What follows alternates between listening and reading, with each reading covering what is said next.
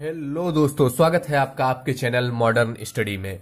मैं अरशद खान आज हम पढ़, पढ़ेंगे कि जो हम पढ़ चुके हैं रीजनिंग की दो topics ranking part one part two उसके आगे आज उसका थर्ड है इंटरचेंज इससे पहले हम क्या पढ़ चुके हैं? इन बेडबिन पढ़ चुके हैं और कंपैरिजन पढ़ चुके हैं। आज हम शुरू कर रहे हैं इंटरचेंज आपस में बदलने पर।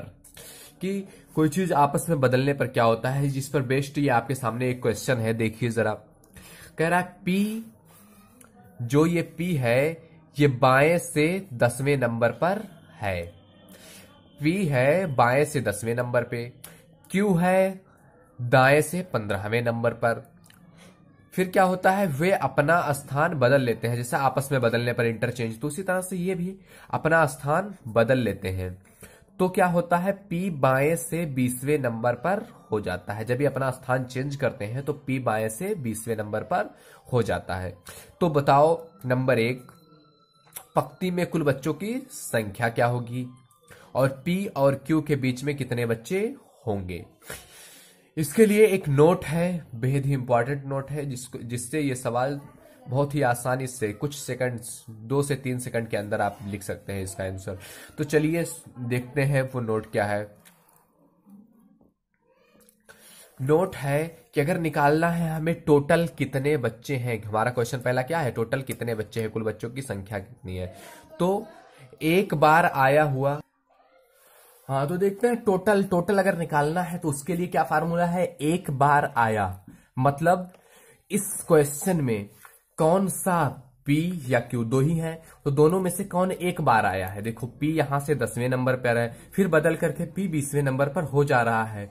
एक बार कौन आया है? Q पंद्रहवा। तो एक बार जो आया है, उसको लिखेंगे मतलब पंद्रह आया है। क्यू आया ना तो ये पंद्रहवें नंबर पे है तो पंद्रह लिखा जाएगा। प्लस, दो बार में जो बड़ा है, दो बार मतलब दो बार कौन आया है? पी। इनमें से कौन बड़ा है? दस नंबर बड़ा है कि बीस नंबर बड़ा है? तो बड़ा बीस नंबर है तो बीस नंबर लिखेंगे। माइनस एक।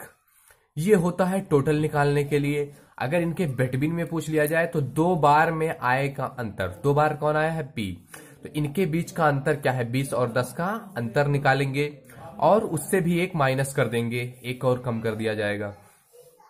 तो देखते हैं। सवाल लगाते हैं। लगाइए जरा।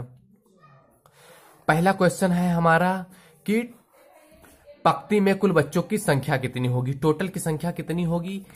क्या है क्वेश्चन एक बार आया। एक बार आया है कौन? क्यू कितने नंबर पे है? पंद्रह। तो ये हो गया पंद्रह प्लस दो बार आए में बड़ा। दो बार कौन सा आया है? पी इनमें बड़ा कौन सा है? ये बीसवा नंबर वाला तो प्लस बीस और माइनस एक। बीस, पंद्रह, पैंतीस पैंतीस में से एक गया। थर्टी फोर चौतीस चौतीस बच्चे हैं टोटल लाइन में। दूसरा कह रहा है, इनके बीच में कितने हैं? बीच में निकालने के लिए दो बार का, में आय का अंतर माइनस एक। दो बार आया है पी एक बार दसवें नंबर पे, एक बार बीसवें नंबर पे। तो इनका अंतर क्या हो जाएगा? बीस माइनस दस।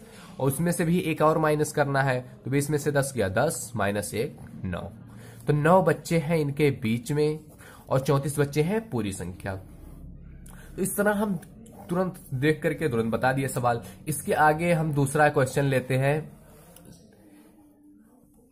क्वेश्चन में है कि ए लेफ़्ट से मतलब बाएँ से बीसवें नंबर पे है बी दाएँ से पंद्रहवें नंबर पे है। आफ्टर इंटरचेंज मतलब बदलने के बाद, आपस में बदलने के बाद बी राइट से पैंतीसवें नंबर पर हो जा रहा है। तो बताओ टोटल कितने होंगे? तो टोटल के लिए क्या फार्मूला है? टोटल मीन्स कुल। एक बार आया प्लस दो बार में जो बड़ा आया है और माइनस एक। एक बार कौन आया है? ए क्योंकि बी यहाँ भी है, यहाँ भी है। एक बार कौन है? ए तो एक बार आया है बी ए बीस, बीसवें नंबर पे। फिर प्लस दो बार आए में जो बड़ा हो, दो बार कौन आया है? बी एक पंद्रह, एक पैंतीस। बड़ा कौन है? पैंतीस थर्टी फाइव उसके बाद माइनस वन तो माइनस वन तीस, बीस, पचास, पचपन में से एक गया, चौवन। तो चौवन बच्चे हो गए आपके टोटल। बेटबिन में निकालना है तो दो बारों का अंतर, दो बार आया है पैंतीस और पंद्रह, इनका अंतर हो जाएगा आपका बीस। इसमें से एक निकल जाएगा तो बीस में से एक निकल गया उन्नीस। तो उन्नीस बच्चे आ गए इनके बीच में। और चौवन आ गए टोटल बच्चे। तो ये था हमारा इंटरचेंज का क्वेश्चन। कि बदलने पर इस तरह इस तरह ही आपके क्वेश्चन पूछे जाएँगे कि बदलने पर क्या हो जा रहा है तो इसके लिए फार्मूला ये मोस्ट इंपॉर्टेंट है, इसको आप रट लीजिएगा, लिख लीजिएगा कहीं पर। तो दोस्तों, हमारा अगला टॉपिक है बेसिक क्वेश्चंस सामान्य प्रश्न। रैंकिंग हम पढ़ रहे हैं रैंकिंग का ये लास्ट टॉपिक है आपके सामान्य प्रश्न। इसके कुछ नोट्स हैं, दो नोट्स हैं इंपॉर्टेंट नोट्स टोटल निकालना है अगर तो right plus left minus one कर देंगे। राइट से कोई व्यक्ति है, किसी पक्ति में खड़ा है, वो राइट से किस नंबर पे खड़ा है लेफ़्ट से किस नंबर पे खड़ा है, दोनों को जोड़ करके एक माइनस कर देंगे। अगर लाइन टॉप बॉटम में लगी हुई है तो टॉप से किस नंबर पर है, वो व्यक्ति बॉटम से किस नंबर पर है, दोनों को जोड़ करके एक माइनस कर देंगे। अगर टोटल पूछा तो। और अगर लेफ़्ट से पूछ रहा है राइट से अगर टोटल दिया हुआ पूछ रहा है लेफ़्ट से किस नंबर पे है तो राइट यहाँ लिखा जाएगा। अगर राइट से पूछ रहा है किस नंबर पे है तो यहाँ लेफ़्ट रहेगा। टोटल में से अगर लेफ़्ट पूछ रहा है तो राइट निकाल घटा देंगे। अगर राइट पूछ रहा है तो लेफ़्ट घटा देंगे और एक जोड़ दिया जाएगा। इसी तरह से टॉप बॉटम में भी है। टॉप से किस नंबर पे तो टॉप से पूछ लिया तो टोटल में से बॉटम को घटा देंगे। अगर बॉटम को पूछ लिया तो टोटल में से टॉप को घटा देंगे और एक छोड़ दिया जाएगा। चलिए इस पे आधारित कुछ क्वेश्चंस देख लेते हैं। तो हमारा पहला क्वेश्चन है कि पी है मान लिया कोई व्यक्ति है जिसका नाम पी है, वो बाएँ से बीसवें स्थान पर है और दाएँ से सोलहवें स्थान पर है। तो बताओ, पक्ति में कुल कितने बच्चे हैं? क्या पूछा कितना कुल? पक्ति में कितने बच्चे हैं? मतलब टोटल पूछा है। तो टोटल पूछा है और ये लेफ़्ट से दिया हुआ है राइट से दिया हुआ है। तो टोटल निकालने का फार्मूला क्या है? अगर लेफ़्ट और राइट से दिया है कि right right plus left minus one तो यहाँ देखेंगे राइट से कितने नंबर पे है? सोलहवें नंबर पे लेफ़्ट से कितने नंबर पे है? बीसवें नंबर पे और माइनस वन कितना हो गया? Thirty six minus one is equal to thirty five बच्चे। तो टोटल आ गया हमारा थर्टी फाइव बच्चे। नेक्स्ट क्वेश्चन देखते हैं। सिंपल एकदम। कि चालीस बच्चों का एक कमरा है, जिसमें राम नीचे से इक्कीसवें नंबर पर है। चालीस बच्चों का कमरा है, राम का बॉटम से, नीचे से इक्कीसवां नंबर है तो बताओ ऊपर से कितना नंबर होगा।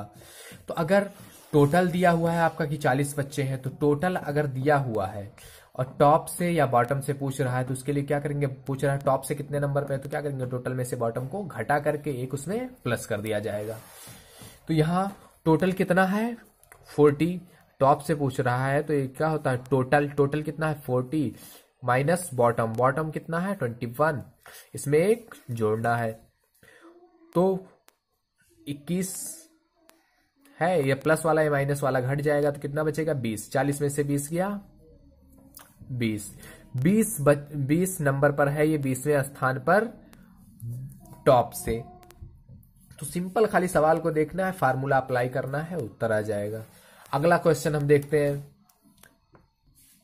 नेक्स्ट क्वेश्चन है, हमारा ए टॉप से बारहवें नंबर पर है बॉटम से सोलहवें नंबर पर है। तो टोटल बताओ टोटल इज़ इक्वल टू क्या होता है? Top plus bottom minus one top से ट्वेल्व बॉटम से सिक्सटीन माइनस वन ये कितना हो जाएगा? Twenty eight twenty eight minus one is equal to twenty seven तो टोटल ट्वेंटी सेवन बच्चे हैं उस लाइन में।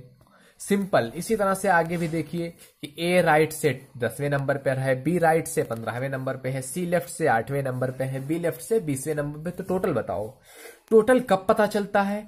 जब एक ही व्यक्ति का लेफ़्ट और राइट दोनों से डायरेक्शन पता हो, जैसे ए यहाँ था ए टॉप से और बॉटम से दोनों ए के बारे में बताया गया था। क्या यहाँ कोई ऐसा है जिसके बारे में राइट और लेफ़्ट दोनों से बताया गया है? तो मिलता है हमें क्या? बी बी के बारे में राइट से भी बताया गया है, लेफ़्ट से भी बताया गया है। तो टोटल इज़ इक्वल टू क्या हो जाएगा? राइट प्लस लेफ़्ट और minus one is equal to thirty four. यानी कि हमारा आंसर आ गया कितना? थर्टी फोर इससे हमें कोई मतलब नहीं है। हमें कोई एक चाहिए जिसका राइट और लेफ़्ट दोनों हो। बी का राइट और लेफ़्ट दोनों था। तो आ गया हमारा कितना आंसर थर्टी फोर यहाँ से हमारा रैंकिंग खत्म होता है। अगर इसके बाद भी अगर आपके मन में रैंकिंग को लेकर के कोई भी डाउट है तो आप हमें कमेंट कर सकते हैं। हम उस पर आप आपको अगली वीडियो देंगे। लेकिन मेरे हिसाब से यहाँ पे रैंकिंग खत्म होता है। अब हम अगला अप, अपना अगला पोर्शन कल शुरू करेंगे। तो अगर वीडियो पसंद आया हो तो लाइक कीजिए, शेयर कीजिए और सब्सक्राइब भी कीजिए। Thank you